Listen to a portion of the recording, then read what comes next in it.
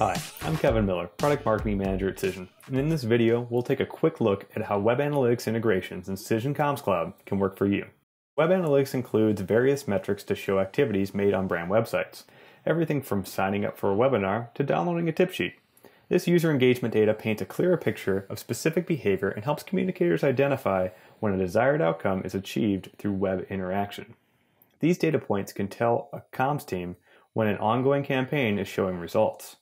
For example, metrics like page views and referrals tell where and how a campaign led users to take action, specifically steering traffic to their website and driving engagement. Comms pros can accurately track the effectiveness of those campaigns with metrics like goal completions and revenue, which help inform future efforts.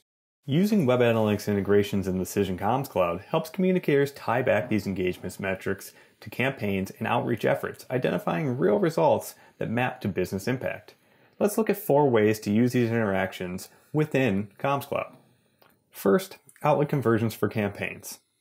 Through use of Comms Cloud's outlet conversions in the campaign's overview, users can show direct success indicators, highlight revenue attribution for e-commerce as well as goal completions, tying revenue as the sum for each web domain and as the total sum respectively. Second, the media summary report for outlet conversions.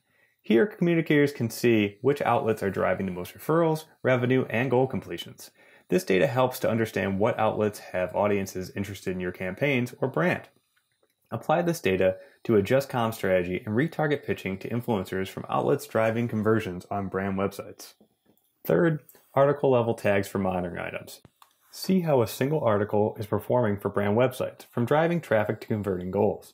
Understanding which influencers are championing the brand and which outlets, again, are driving user interaction is key to sustaining campaign outreach and for laying a successful foundation on future campaigns.